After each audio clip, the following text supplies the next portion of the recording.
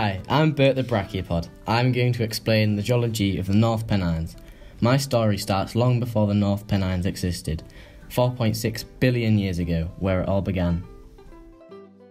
The Earth was formed from colliding space debris, which was formed from an ancient star exploding. Boom!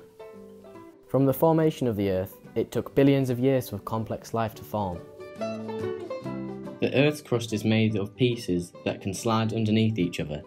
This is how the slates under the North Pennines were formed. In the Devonian era, the North Pennines were uplifted due to magma intruding under the rock. This magma eventually cooled to form what we now call the Weardale Granite. We are now in the Carboniferous era. This was when I evolved. Happy birthday to me.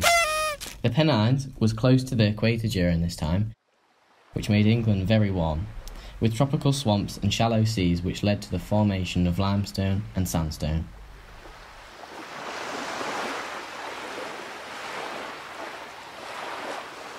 Three hundred million years ago, magma intruded between the rocks, forming the famous Whin Sill, which is well known in this area.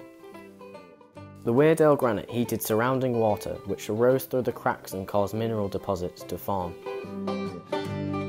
This was my most favourite era, the Mesozoic. Do you want to know why? Well, it was because of the dinosaurs. Raw! Sadly, we don't find any in the North Pennines.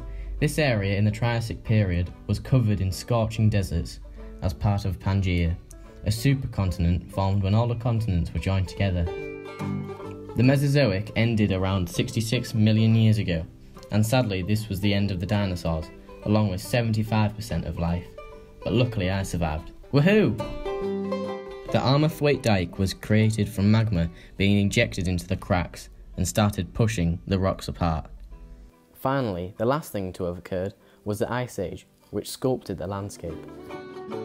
Now we are all caught up to modern day, where new rocks are being formed by weathering and erosion.